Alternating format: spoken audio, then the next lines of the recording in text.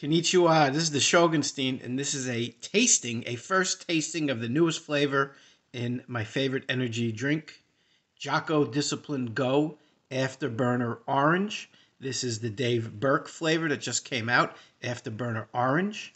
And the uh, Jocko Go, I don't know if energy drink is the, the best term to use because it's all natural. It's not like those uh, very sugary, very... Uh, you know, green tea extract, all sorts of chemicals that you find in a lot of the energy drinks that you see at, uh, you know, QT or uh, Circle K. This is uh, all natural. There aren't as many ingredients, and they use monk fruit, which I like because it's not as sweet. It's not an artificial sweetener. A lot of the other energy drinks or the BCAAs have the sucralose, so I like that the Jocko Go is actually not as sweet. Now with the monk fruit, it's a little different because it's not as sweet, so it does take a little uh, to takes a little to get used to uh, switching to a drink like this, which doesn't rely on all that sugar or the artificial sugar. So again, because it's not as sweet, the taste is uh, a little different at first, but I appreciate it more and more because sometimes when I run out of the go and I got to have some of those other energy drinks with the sucralose in it or the artificial flavors, I really feel it. And it just kind of tastes gross. So I'm a big fan of the Discipline Go.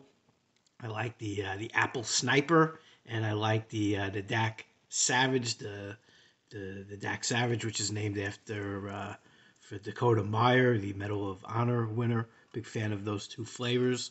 And very appropriately, I just came back from my Go Ruck. I was Go Rucking through the zoo. The zoo is right next to Luke Air Force Base here in the Phoenix area the jets were flying over the F-35s, I believe.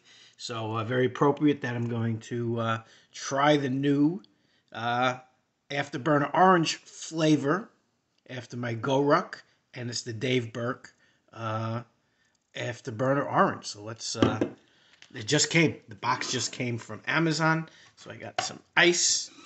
And I'm gonna pour it in. And let's see how it tastes. Got my red solo cup. Normally I would drink it right from the can, but this just came off the Amazon truck.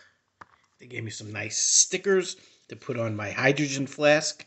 So when I uh, can show off not only the Go Ruck colors, but I also have my Go Time and Origins. So here we go with Afterburner Orange. Dave Berke, some recovery from rucking through the zoo, and a rough day of uh, teaching juniors.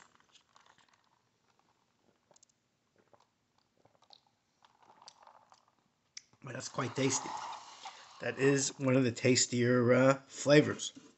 Definitely going to put that up there with the apple and the Dak Savage. There's the, the tropical flavor, which is pretty good, but uh, definitely like this one better than the tropical and the, the apple sniper and the uh, Dak Savage. Me try one more sip.